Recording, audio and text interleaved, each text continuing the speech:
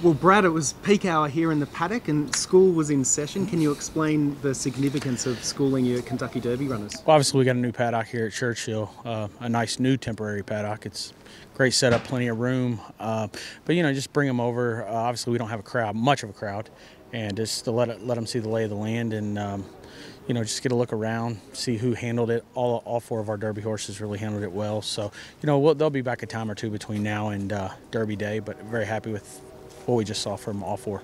What do you think of the new paddock? I really like it. Uh, lots, lots of room. I like the wood chips personally. Um, I think it's safe, uh, very safe. Plenty of room. When room for horses is obviously equals means safe. So uh, yeah, lots of room. Um, you know, plenty of space, plenty of stalls. 20 stalls here. They have, I think, 21 actually. But a good setup. I like it.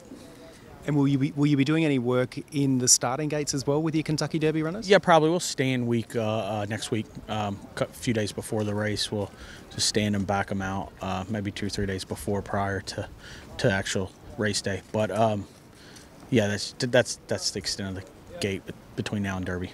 You'll never know until the day, but any concerns with any of your runners as to whether or not they'll handle the occasion, the 150,000 people that you mentioned?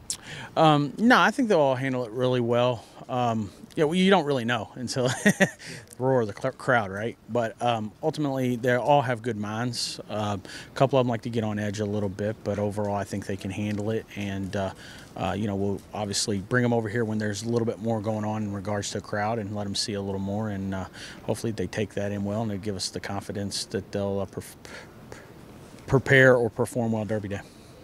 Well, as always, thanks for your time and good luck next Saturday. Thanks, Andrew. Appreciate it.